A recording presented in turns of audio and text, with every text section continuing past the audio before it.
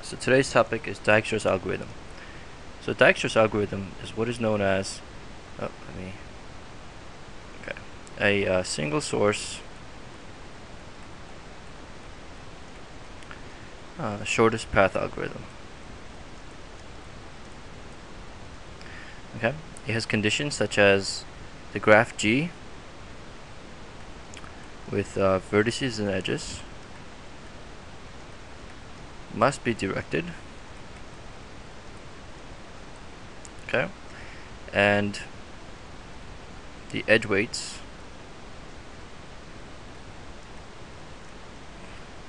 Must be non-negative.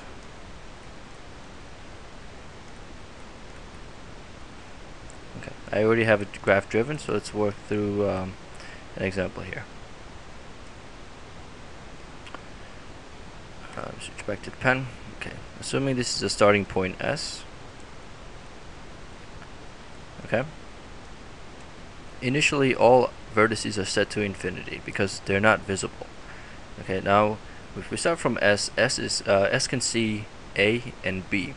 Okay so initially they're set to values infinity and we only update these values on the edge uh, vertices if they are um, greater if if the, uh, the the distance from the predecessor to the vertices is less than what it currently has. So obviously 10 is less than infinity from S to A.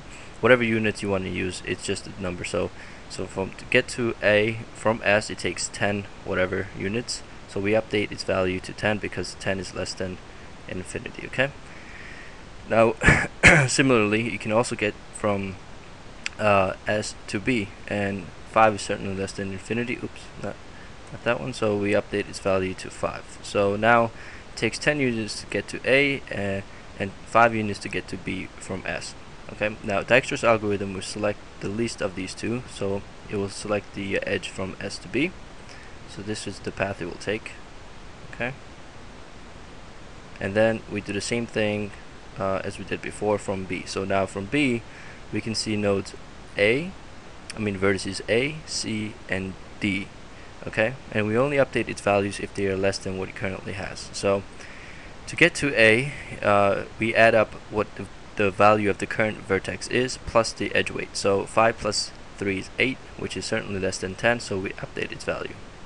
But we don't necessarily move, uh, go to that vertex. Okay, now the um, the edge from B to C has the uh, cost of 9 so we add that to 5 which is 14 that's certainly less than infinity.